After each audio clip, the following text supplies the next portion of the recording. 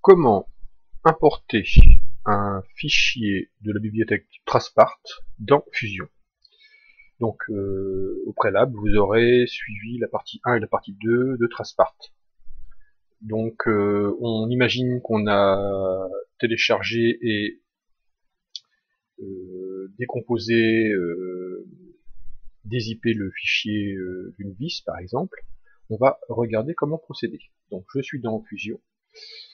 Et je vais aller sur les petits points ici pour faire apparaître, je vais aller sur les petits points pour faire apparaître euh, mon dossier personnel ou le dossier de mon équipe. Je vais me placer dans euh, le projet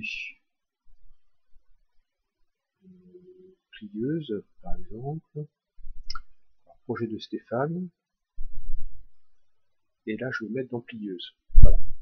Donc j'ai importé la plaque matrice, la plaque poinçon, euh, et je vais maintenant importer un fichier qui est euh, situé dans les téléchargements de mon PC.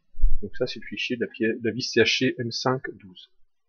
Alors, je me place dans Fusion, je vais donc aller dans Upload, et là je vais sélectionner le fichier ou faire un glisser-déposer. Donc je vais faire select, c'est plus simple. Je me retrouve dans mon dossier de téléchargement, je prends mon fichier, je sélectionne, pas le fichier texte puisque c'est le fichier d'information, je fais ouvrir, et là j'ai mon fichier qui va euh, apparaître, et je fais upload. Voilà.